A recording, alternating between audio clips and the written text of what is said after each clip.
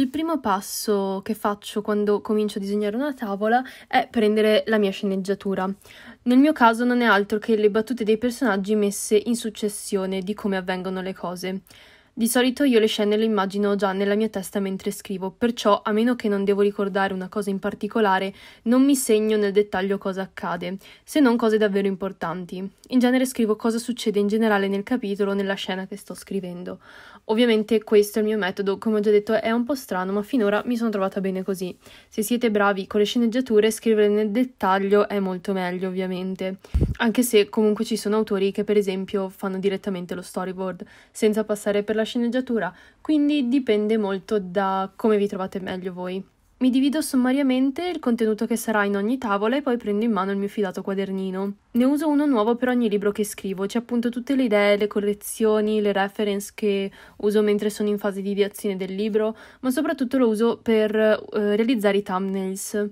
I thumbnails, che io faccio a mano perché mi trovo più comoda così, servono per vedere sommariamente quale sarà la suddivisione della tavola e quindi della regia che voglio dare alla scena, la suddivisione delle vignette, dei balloon e di ciò che accade in ogni scena, in pratica. Sono sempre molto brutti e molto abbozzati, serviranno solo a me per avere un'idea generale dello storyboard vero e proprio. In questa fase tengo sempre a portata di mano qualche fumetto che mi piace, o che so avere una regia o uno stile simile a quello che vorrei dare alla mia storia. È molto utile perché ci può dare nuovi stimoli, nuove idee, per dei layout e una regia diversa e per non rischiare di fare tutte le tavole uguali. Un errore molto comune e che anche io ho fatto tante volte è usare layout troppo simili eh, di pagina in pagina, troppo simili tra di loro, senza variare tanto, rischiando spesso e volentieri anche troppi primi piani. Quindi tenerci un fumetto che ci piace sotto mano può essere utile per avere nuovi punti di vista di tanto in tanto. Dopo che ho scelto tutti i layout delle varie tavole, comincio a realizzare lo storyboard vero e proprio. Prima di tutto inserisco i testi. I dialoghi sono una parte molto importante e vanno inseriti prima di cominciare a lavorare per capire quanto spazio occuperanno all'interno della tavola e di conseguenza se è necessario modificare le vignette o aggiungere o togliere pagine. In pratica bisogna considerare il balloon come parte integrante del disegno e lavorare poi di conseguenza. Quindi una volta completato l'inserimento dei testi e la creazione dei balloon, sistemo la tavola seguendo i thumbnails che mi ero disegnata in precedenza. Tutto questo lavoro richiede quasi più tempo che realizzare i disegni veri e propri, difatti disegnare ci metto quasi meno tempo che non organizzare tutte le tavole, però è davvero necessario sia per creare una storia coerente che per rimanere all'interno del numero di pagine richiesto dall'editore. Poi ognuno ovviamente ha i suoi metodi, anche più semplici di questo, ma come ho detto all'inizio io sono una persona piuttosto organizzata e tendo a metterci molto tempo, oltre che ad avere un metodo un po' complesso. Però, essendo io personalmente un po' carente nella narrazione e soprattutto nella capacità di scrittura, mi è davvero molto utile procedere così. Dopodiché passo ovviamente ai disegni, in questa fase di storyboard non sono precisi al 100% perché devo realizzarli velocemente nel caso poi dovessi correggerli. Cerco comunque di farli il più precisi possibile perché così risparmio tempo nella fase di matite definitive e di inchiostrazione e anche per comodità nel farlo leggere poi all'editor che altrimenti non capisce niente. Ovviamente i disegni possono essere molto meno precisi di così. Io, come ho già detto, li faccio in questo modo perché mi trovo bene. Uh, poi in fase definitiva ho meno lavoro da fare. Per i disegni mi faccio aiutare ovviamente dalle reference, su Pinterest ho creato una bacheca con tutti i mood o le pose o i vestiti che possono tornarmi utili per le mie storie. In questo caso Calypso sta facendo autostop per andare a un festival musicale e perciò ho cercato qualcosa che potesse richiamare quello stile. In questa scena poi dovevo disegnare un'auto, grande cruccio per molti disegnatori.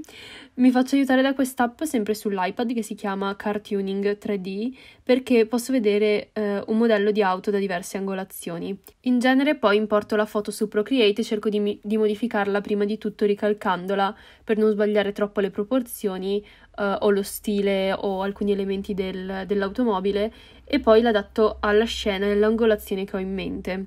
In questo caso, per esempio, tenendo le dimensioni precise dell'auto si tagliava completamente il volto del personaggio, perciò ho tenuto il modello come riferimento ma cambiandolo un po' a mio piacimento. E sì, in realtà tutti gli autori ricalcano sfondi o oggetti difficili se serve, un po' perché ci manca sempre il tempo per stare dietro le consegne e un po' perché se la scena è ambientata in luoghi realistici è difficile ricrearli da zero perfettamente uguali, anche avendo delle reference.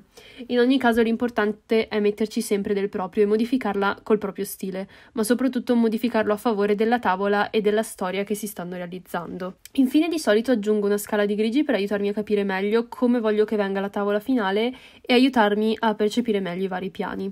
Ecco quindi la tavola finita pronta per essere mandata in correzione all'editor. Come vedete la lettura deve mantenere uno stile di lettura coerente e scorrevole. Ogni elemento della tavola è utile e importante per questo, dalla posizione dei balloon alle pose dei personaggi. In questo caso infatti la lettura segue un percorso prestabilito che abbiamo creato usando gli elementi all'interno della tavola. Una volta approvato lo storyboard dall'editor, è ora dell'inchiostrazione del colore e voilà! La tavola è pronta per la stampa.